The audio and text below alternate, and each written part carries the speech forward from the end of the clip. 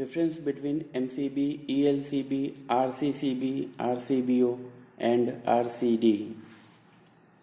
MCB is a miniature circuit breaker which provides protection against overload and short circuit. We have MCB of single pole and its rating varies from 0.5 to 63 amperes.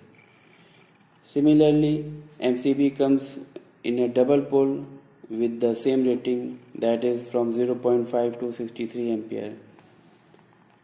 We also have triple pole and four pole MCBs in the same current range.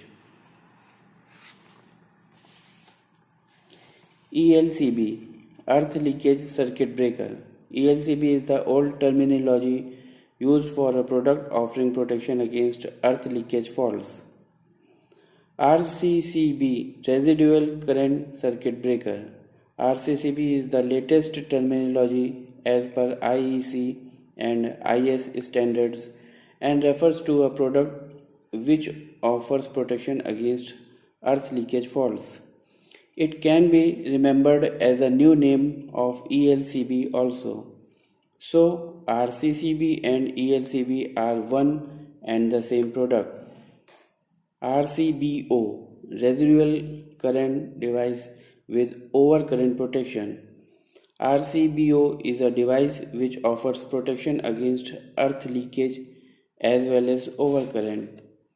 By overcurrent, we means overload and short circuit protection.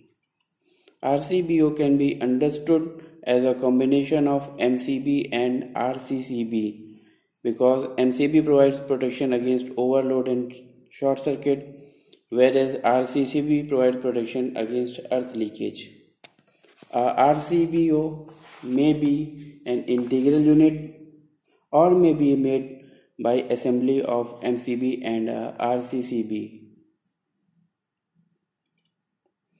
RCD Residu Residual Current Device RCD is a family of products which offers protection against earth leakage faults.